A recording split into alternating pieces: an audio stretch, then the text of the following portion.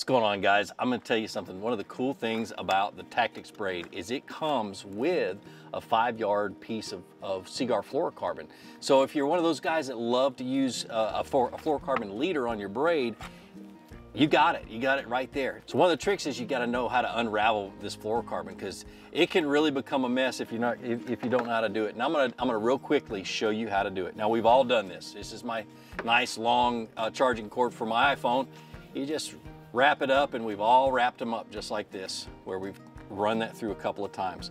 And that's basically how the fluorocarbon is done. So I'm gonna show you, now that you've seen that, I'm gonna show you how to unwrap it. Pop it out of the plastic, of course.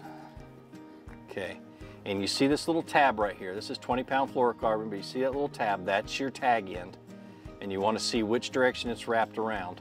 I'm gonna flip it around because I'm, I'm right-handed and literally you just unwrap four or five turns out of that fluorocarbon until the rest of the spool starts to spring out and you know that you've, you've got it almost all the way done.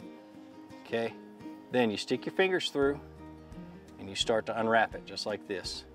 And like I said, if you don't do it this way, if you try it any other way, it tends to become kind of a mess. So that's what's cool about this TactX is that it comes with a fluorocarbon leader. So if you're one of those guys that likes to use that leader, tie it on, go out and go fishing and have a whole lot of fun.